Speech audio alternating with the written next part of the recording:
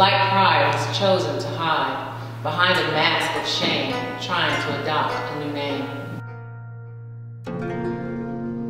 Black pride has fallen aside because of hate of self, dumping past triumphs upon a shelf.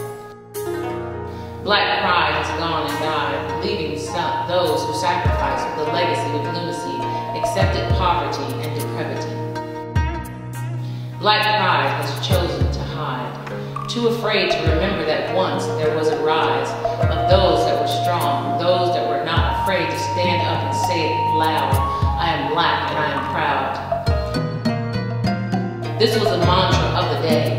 To be young, gifted, and black was heard across the land. The marches and protests for freedom bound the people together with a common goal. But once the leaders were taken, we fell back into the old. Handouts bound us. Becoming willing participants in our own demise. Black pride has gone and died. Satisfied with the crumbs that fall from the governmental table, even though our men are well able to work, earn a living, and be free. We choose a life of poverty and enslavement to a system, allowing ourselves to become trust fund buns of the state and food stamp junkies. Laid like rats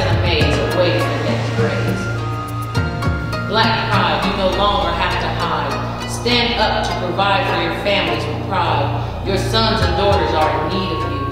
No longer are you just the master's breeder. Stand and be your family's leader, provider, and example. Black pride, you must decide whether to lead or to follow, to feel or be hollow. Whether your children will, be, will sell drugs as beggars on the street and end up in prison for lack of what you have to teach.